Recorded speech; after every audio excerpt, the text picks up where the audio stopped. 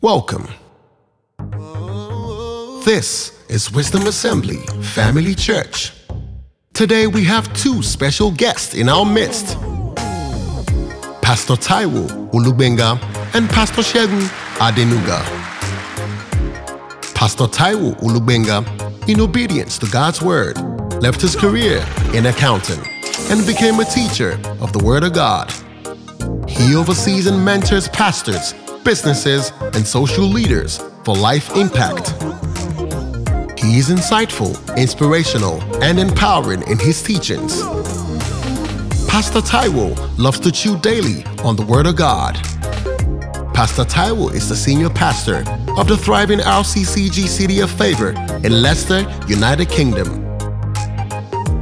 Pastor Segun Adenuga is a natural leader with an uncompromising ability to teach the Word of God. His undying passion is to see souls won to God and the people of God mentally and financially empowered. Pastor Segun also loves to chew daily on the Word of God. Wisdom Assembly, rise up and join me as we welcome Pastor Taiwo Ulubenga and Pastor Segun Adenuga.